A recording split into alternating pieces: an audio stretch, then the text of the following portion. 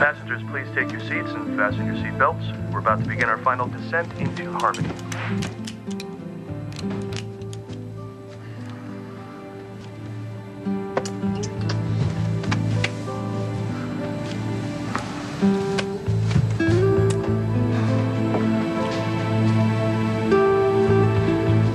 So how was my brother? Uh, he's hurting. Is that what you guys were talking about? No, he was advising me to go and uh, try to make things with Fancy better. And you still think it's a lost cause? I think Fancy's in love with Luis.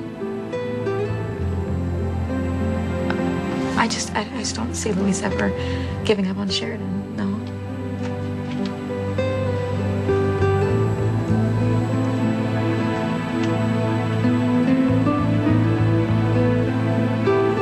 Maybe Noah's right.